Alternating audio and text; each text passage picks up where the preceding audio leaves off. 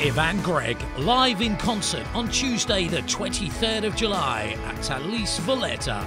All monies from ticket sales will be donated entirely to Puttinu Cares. Get your tickets now from showshappening.com.